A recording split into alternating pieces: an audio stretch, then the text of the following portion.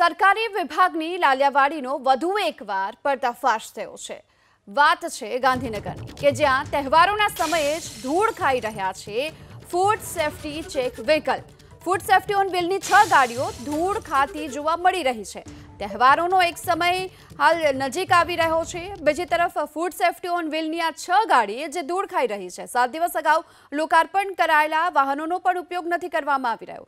ખાદ્ય પદાર્થોની ચકાસણી માટે આ ફૂડ સેફટી ઓન વ્હીલને દોડતા કરવા જરૂરી છે. કારણ કે વિવિધ જિલ્લામાં મોકલવાની થતી આ ફૂડ સેફટી ઓન વ્હીલ ગાડીઓ અત્યારે અહીં પડી પડી ધૂળ ખાઈ રહી છે અને તહેવારો સમયે જ્યારે ચેકિંગ કરવા માટે આ ગાડીઓનો ઉપયોગ થતો હોય છે. દિવસોમાં દિવાળીના તહેવાર આવશે.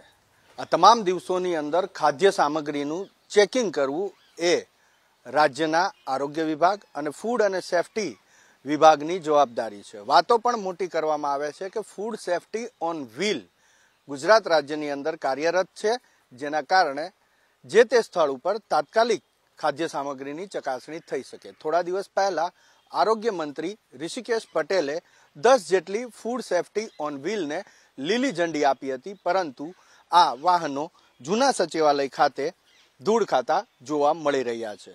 આ એ જ વાહન છે કે જેને થોડા દિવસો પહેલા આરોગ્ય મંત્રી ઋષિકેશ પટેલે લીલી ઝંડી આપી હતી, વિવિધ જિલ્લાની અંદર મોકલવા માટે. પરંતુ સૌથી મહત્વપૂર્ણ બાબત એ છે કે હજુ આ વાહનનો રજીસ્ટ્રેશન પણ નથી કરાયું. એટલે કે એનો નંબર પણ નથી આવ્યો. જેના કારણે એ બહાર જઈ શકે એવી કોઈ શક્યતા નથી.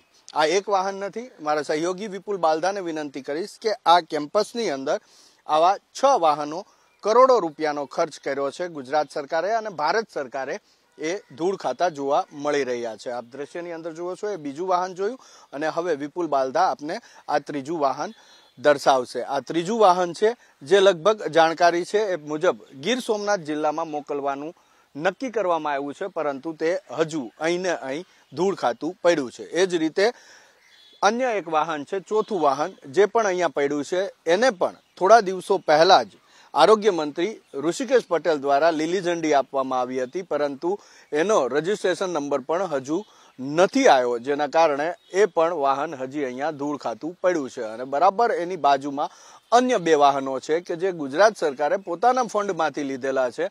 અને એ વાહનો પણ અહીંયા પડ્યા છે. ધૂળ ખાતા પડ્યા છે. મહત્વપૂર્ણ બાબત છે કે ખાસ તહેવારોના દિવસોમાં જ તે.